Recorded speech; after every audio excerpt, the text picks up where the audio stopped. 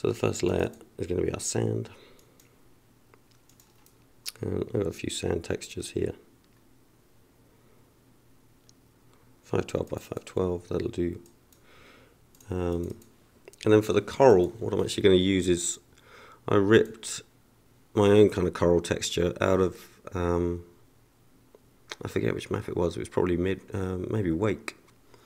Um, but I just took some of the original Wake terrain textures and then ripped out my own bit of coral because they had some nice textures in there. Uh, and you can see now on that proof that it's, it's starting to include that within our within our layers. However, I don't know how this is going to work yet. So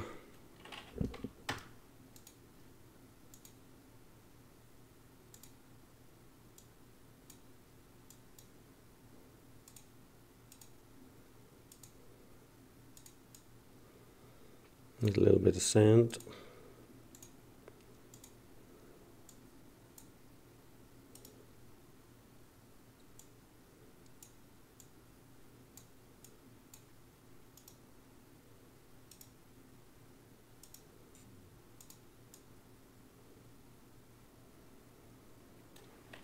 Mm, okay.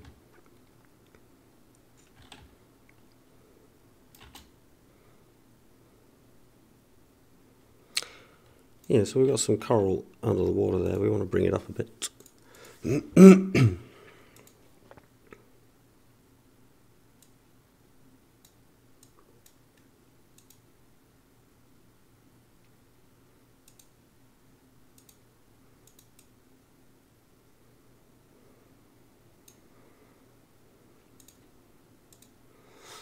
It's a tiny bit too high.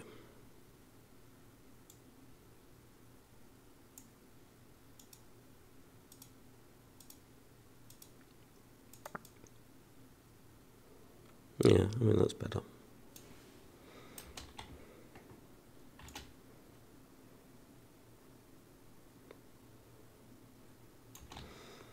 So now, one thing which I think is not so good is that the sand is coming up quite high on these rocks.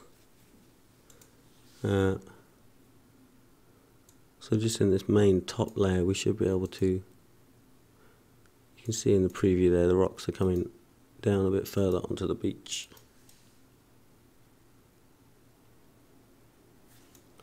And there's a little bit of grass here, which is fine. I mean, I think that's quite nice. It's quite, quite kind of natural.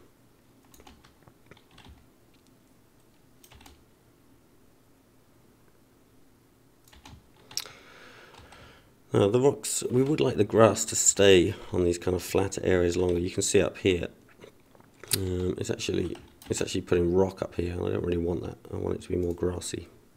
Um,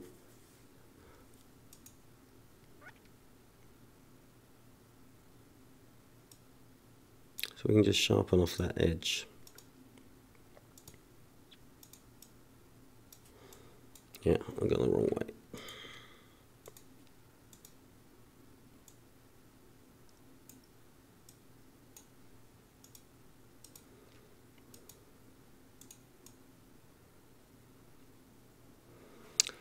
That's better. yeah,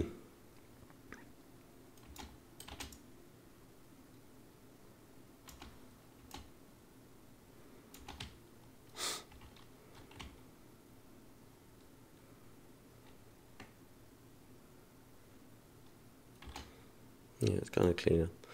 Um,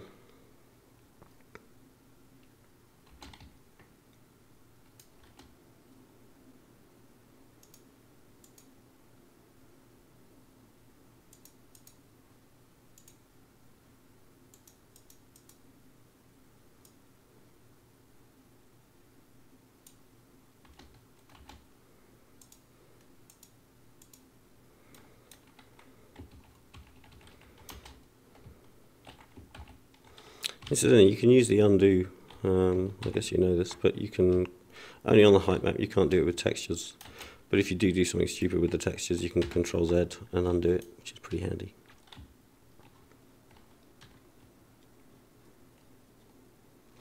Okay, so this will do for now. One thing which I mentioned earlier when we picked up this texture is it's just too big. I mean, you can see that these blades of grass are, I don't know, 10 feet high, probably. Um, so, let's scrap this grass texture. Let's find a better one. Something which is, we, we need something which is more like this. Um, maybe this, just still a bit too, a bit too big.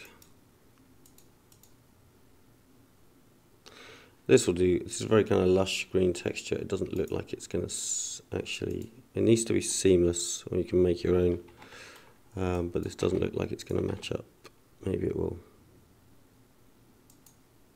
Yeah, no, not really. No. Um,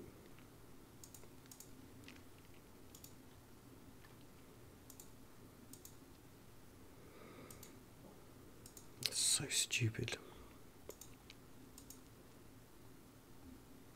Yeah, this looks better. Let's copy this, shrink it down to 512, save it. Again as a bitmap, new grass 2,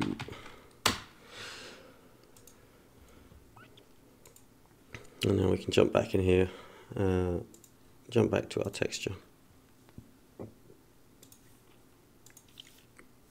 and change this new map grass to new map grass 2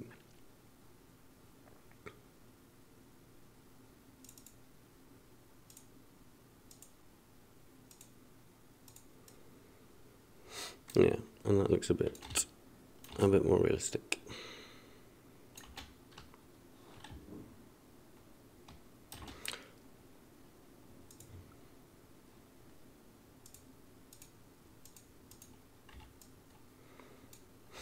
I'm just going to soften off this edge into the water here. There's a little bit of a sort of slope, which I think is not not so realistic. So I'm just doing a bit of smoothing.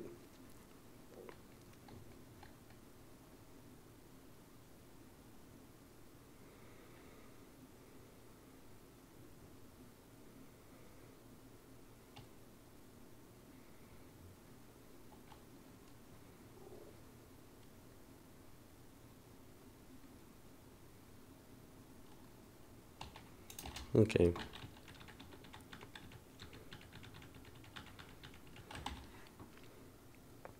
Um,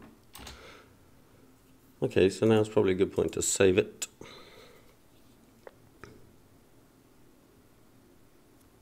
Uh, and then I'm just going to cover the whole map in this new texture now. And we'll see how it looks.